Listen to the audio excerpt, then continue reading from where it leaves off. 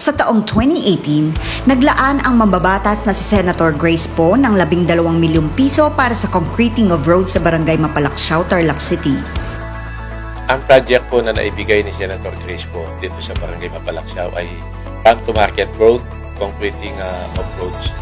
At uh, malaki pong tulong ito sa mga mamamayan ng Mapalaksyaw dahil uh, napabilis po ang kanilang uh, pagbiyahe sa kanilang mga inaaning uh, produkto sa agriculture.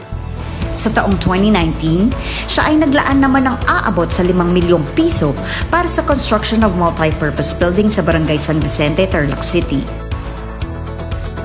Yung uh, barangay hall at multipurpose na po ng San Vicente, lumang-luma na. Ah, dahil po kay uh, Senator uh, Grace po, ah, napalitan po yung barangay hall at naging bago na.